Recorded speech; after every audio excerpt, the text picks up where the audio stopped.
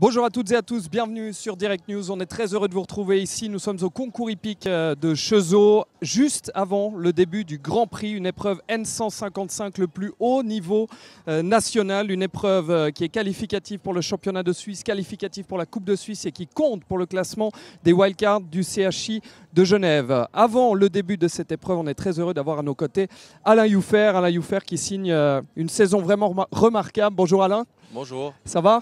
Ça va très bien. Magnifique. oui, pour l'instant, avant cette épreuve, évidemment. Alain Youffer, euh, qui vient de prendre une magnifique cinquième place euh, dans le Grand Prix 5 étoiles de Treffen, qui était également double sans faute à la balle.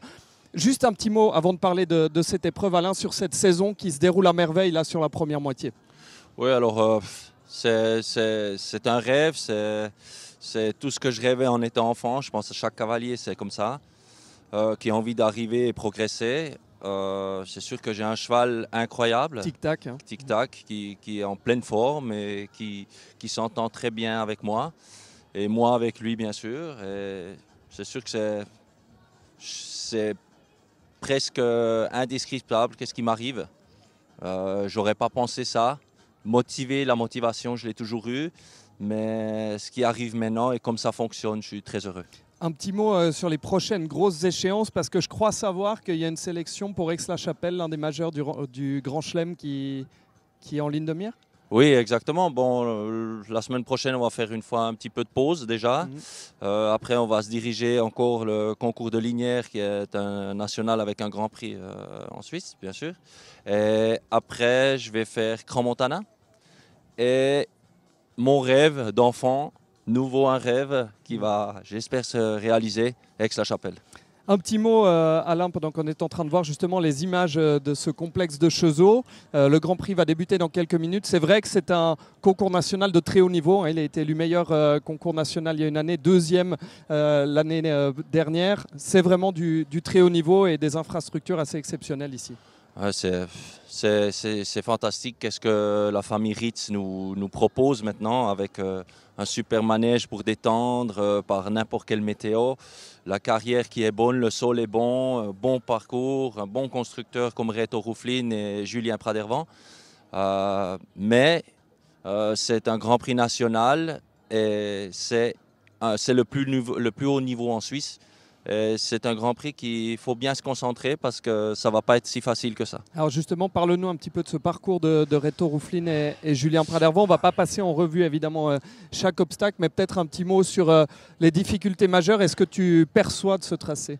Alors le, tracé est très bien, très bien, euh, très bien dessiné. C'est très espacé.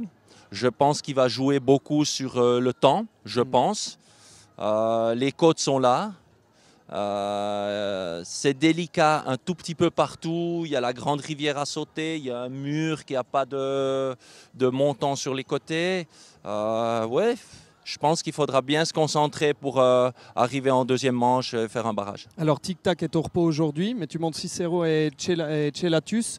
nous parler un petit peu de ces, ces deux chevaux Oui, alors Cicero, je viens de le recevoir il y a une semaine. Mhm. C'est un cheval qui appartient à Eric Lamaze. Euh, Champion olympique 2008.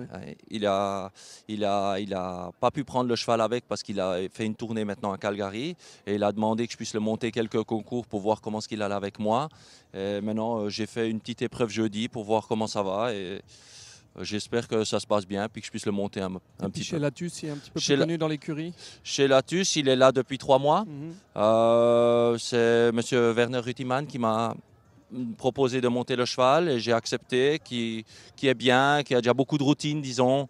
Euh, j'espère qu'il est en bonne forme aujourd'hui et que je fasse un bon résultat. Bon, bah merci beaucoup à Alain Youffer. Euh, tout le meilleur pour cette épreuve. On va faire un changement volant vu qu'on est en Coupe du Monde. On peut parler de, de, changement et on retrouve un jeune cavalier, 19 ans cette année, déjà, déjà deux victoires dans des grands prix de, de ce niveau-là. à Arberg et à Crète. Tout récemment, c'est Edouard Schmidt. C'est Edouard.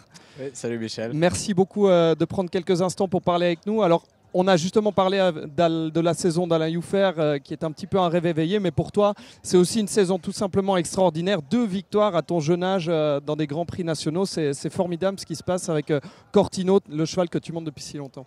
Oui, bah, je ne pouvais pas espérer mieux pour cette année. C'était les débuts de Cortino sur ce genre d'épreuve et c'est pas que j'ai une expérience mm. tellement grande sur ces épreuves non plus. Donc, de victoire, c'est c'est magnifique et on espère qu'on arrive à continuer cette belle série. Il faut savoir que Edouard Schmidt euh, monte chez la famille euh, Fuchs et qu'en parallèle, euh, eh bien, il suit des études à l'EPFZ en ingénierie, hein, si je ne dis pas de, bêtises. Comment on arrive à, combiner ces deux choses-là, être aussi brillant en sport et puis à côté être brillant en études parce que l'EPFZ, c'est quand même pas rien Non, alors justement, EPFZ, j'ai un accord avec l'école qui me permet de mhm. partager la première année sur deux ans.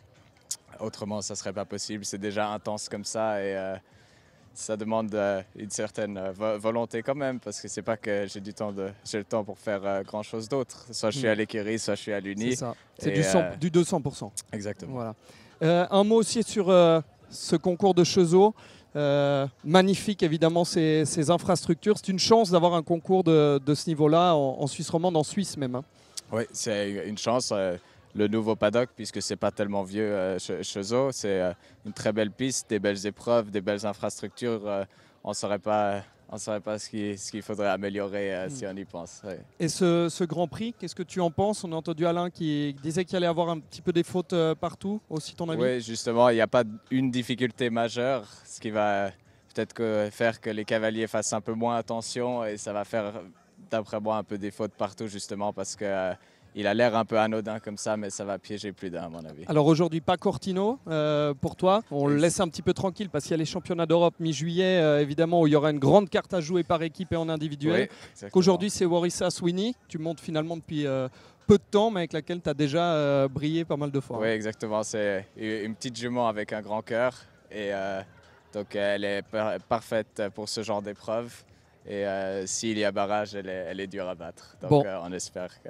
C'est tout ce qu'on te souhaite. Merci beaucoup, euh, Edouard Schmitz. Euh, merci à vous de nous avoir suivis. On vous donne rendez-vous à la fin du Grand Prix pour quelques interviews avec les propriétaires des lieux, avec les meilleurs cavaliers de, cette, de cette épreuve.